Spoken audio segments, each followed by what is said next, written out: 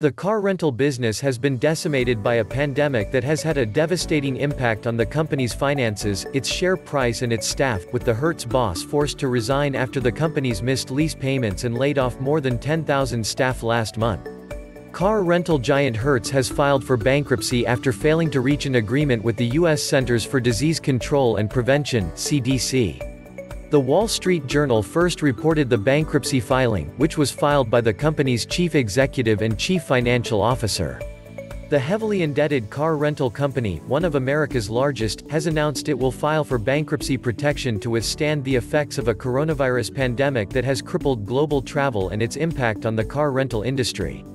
According to the New York Times, Hertz filed for Chapter 11 protection on Tuesday, becoming the latest victim of travel restrictions that have decimated car rentals after last year's deadly influenza outbreak in Europe. Hertz and its subsidiaries will continue operations, the company said. However, the Estero, Florida-based company's lenders were unable to grant the company an extension of its $1.2 billion loan guarantee, triggering the filing of a $2.5 billion debt ratio. The filing does not include the impact of the coronavirus pandemic on the U.S. auto industry, the statement said. The car rental business has been decimated by the pandemic that has wreaked havoc on the U.S. automotive industry and the wider economy, with the CEO of Hertz forced to resign after the company missed lease payments and laid off 10,000 staff last month.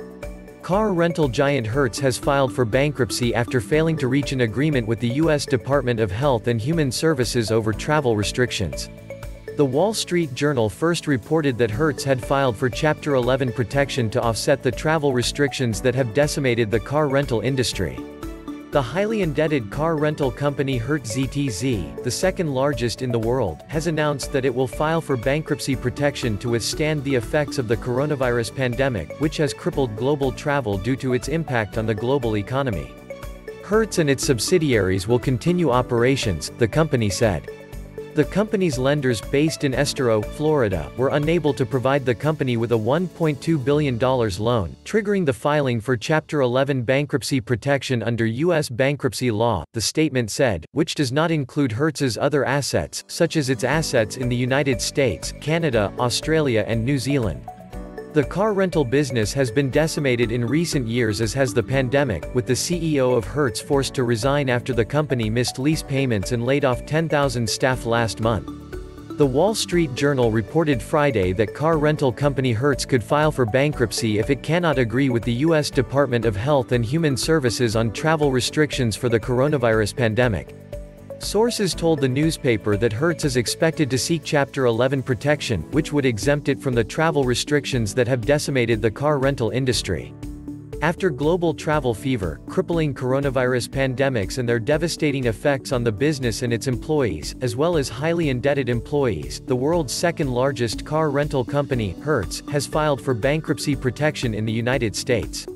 Hertz and its subsidiaries will continue operations, the company said. The company's lenders, based in Estero, Florida, are about to grant the company an additional $1.5 billion in loans against its debt, triggering the filing for Chapter 11 bankruptcy protection in the U.S. Bankruptcy Court for the Southern District of Florida. This filing does not affect the operations of Hertz or its employees, the statement said. Widespread travel restrictions related to the U.S. government's travel ban on travelers from Iran, Iraq and Syria have hit revenues, particularly in the car rental business. Car rental company Hertz is in talks with creditors to avoid bankruptcy, which could be just weeks away, Bloomberg reports. The company, based in Estero, Florida, is negotiating the possibility of a bailout, according to the Wall Street Journal. While the U.S. government has a $50 billion airline bailout plan, Hertz may not be able to access the program. American Airlines and United Airlines, two of the largest carriers in the United States, have strong balance sheets going into crisis. But the bigger problem facing the company is a little more complex, according to the Wall Street Journal. The company was given until the 22nd of May to submit a plan for its assets, collateralized debt obligations (ABS), and other assets. The coronavirus pandemic has significantly reduced car rental business as travel has slowed due to the closure. The huge drop in sales caused by the pandemics has reduced by 70% the number of cars currently owned.